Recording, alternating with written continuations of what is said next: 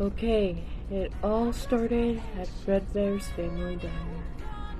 Oh dear lord, no, not this again! Shut up, Ren, and let him explain! Okay, okay, sorry. Jeez.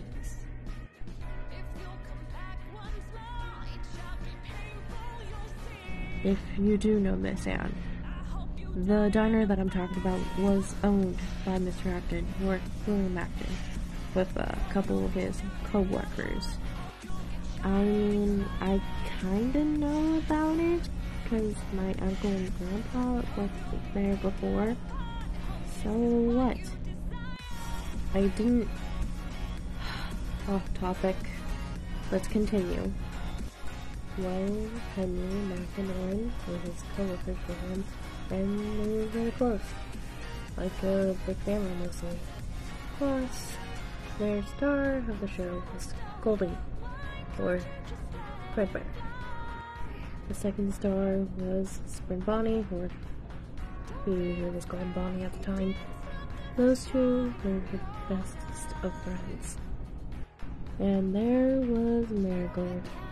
She was a sweetheart and adored all the kids there. And then the last one, Draco. He's the biggest one of the four, but he has the biggest heart. Everything seemed all good and well until until the bite of 83 happened. Wait, there was another person that got bit? I know the one that happened at 87, but there was one there? Let me continue, please. Fine. Thank you. It happened at a birthday party, and those kids had to ruin and make this all happen.